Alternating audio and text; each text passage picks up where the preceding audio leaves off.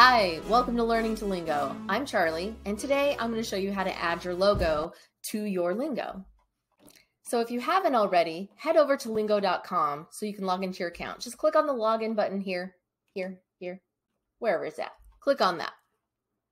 So to start with, if I'm on my dashboard, I'm going to click my app card right here to be taken into the content designer. So now at the top of my mobile preview here you see in the in the middle is the logo. Right now this is just the generic Liiingo logo. So you if you want to make this your own, great. If you want to leave it how it is, that's fine too. Um, but to do that, you can click on the logo you see here and it'll open up this panel on the right hand side um, with the logo. Now, one of the ways to upload your logo would be to click over here on the preview panel, and then navigate to where you have the logo saved. So here I already have some made. Um, as a heads up, I love to use Canva to design my logos. Let me show you what I do here. So with Canva, I use a one-to-one -one ratio for the logos, so it's an even square.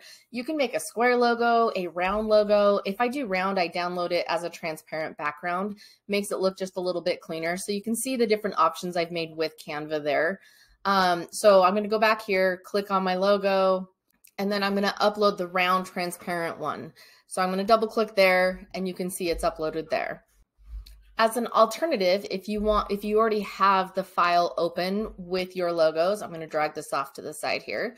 You can just click and drag and hold it over the logo as well. It's really drag and drop friendly, so super easy to do. As you can see, I've got my logo added and I'm ready for the next steps. Don't forget to check out the rest of our tutorials to help you learn to Liiingo. Can we help these people learn to Liiingo? What do you think? I think yes.